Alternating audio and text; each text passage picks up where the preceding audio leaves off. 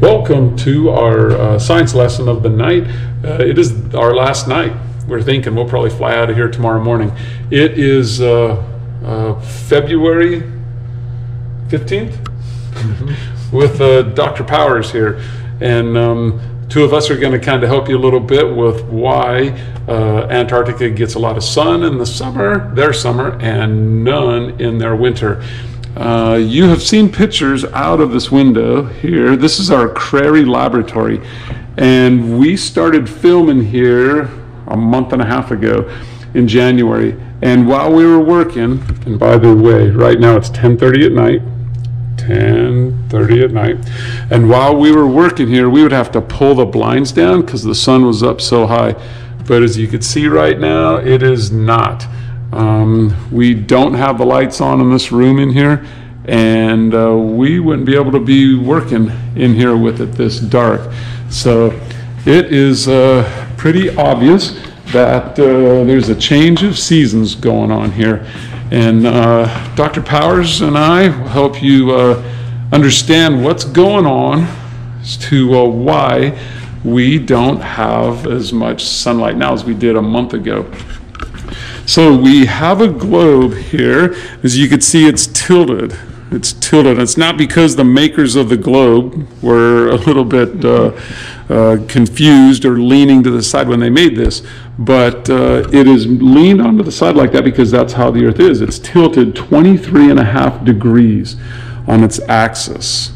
So let's simulate. See, I'm looking out the window right here. We're going to simulate like this is the sun coming through and hitting onto the earth. So topper, let's make this, right now it's leaning. Um, so this would be, oh, let's spin it all the way around. This would be like where we're at right now. So it's leaning around. So you can see here comes the sunlight. And yeah, as topper turns that, you can see all of Antarctica as it goes around day and night. So this is a 24 hour rotation that uh, Topper is doing right now. And there's the western Antarctic Peninsula, and as it rotates around where the sun would be shining, I could look right across and I could still see it. So it'd be 24 hours of daylight there in, uh, in Antarctica. Well, uh, in the middle of February now, let's go six months later. Topper, yeah. So it's going to rotate about like so. So right now, I can see the western Antarctic Peninsula. And glancing across, I could still see really all of Antarctica, but not as bright uh, as what uh, we could have seen a month ago. So that's kind of like what we're looking at right now. We could see the sun, but it's uh, very low on the horizon. That's Mount Discovery out there. It's uh, kind of tucked down below. Let's go uh, about three months or four months later, Topper. So it'll be, that will rotate that around. So now you can see the northern hemisphere is leaning towards the sun. Southern hemisphere is away from the sun. So what we're doing is revolving the earth around the sun. So you look now, if we're the sun aiming this direction, we can't see any of Antarctica. There's a uh, the tip of South America, and uh, we that's that's tough to see there too. So that's why for probably four months of the year, Antarctica is in the dark, day and night. It's going to be tilted away. It won't be able to be seen. Uh, it won't be seeing the sun. So now you know why uh, we don't have the sun, don't need as much sunscreen as what we used to have to wear at midnight. And uh, we're going to be getting out of here before the darkness hits. Winter is coming for Antarctica. we, we could uh, definitely feel that. Yeah, need to use the lights around here now.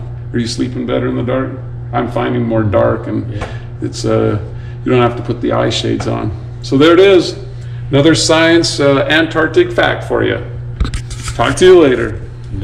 All right, I'm here with Dr. Adams here in our office, and uh, he's got another super cool fact about what we were just talking about with why there's so much sunlight during the summer and uh, darkness in the winter. Cool fact that he has.